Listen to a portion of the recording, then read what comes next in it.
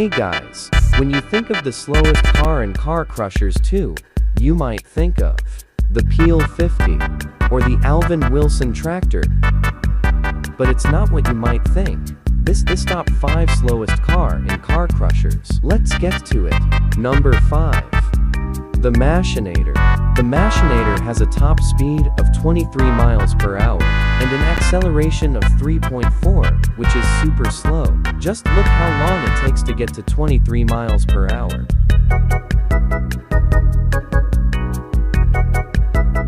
Six. To get to 23 miles per hour for a normal car, it would take around half a second. And this is the fastest of the five. Next is the Piston Master. The Piston Master is a type of snow car. This also has a top speed of 23, but somehow slower according to car crushers, even though it has a higher acceleration.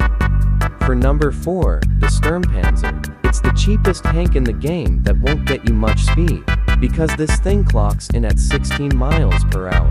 But still, every player couldn't wait to get their hands on this tank no matter the speed. Number 2, the Golf Cart. Probably the best car on this list. It can only go 18, not fully upgrade.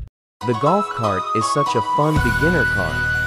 And for number 1, the A7V Sturmpanzer. With a top speed of 16 miles per hour, it's the, the slowest car in all car crushers.